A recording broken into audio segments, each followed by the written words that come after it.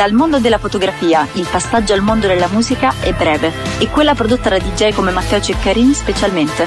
Da quel momento in poi ebbero nelle loro mani e nel loro tocco creativo la colonna sonora degli eventi in passerella.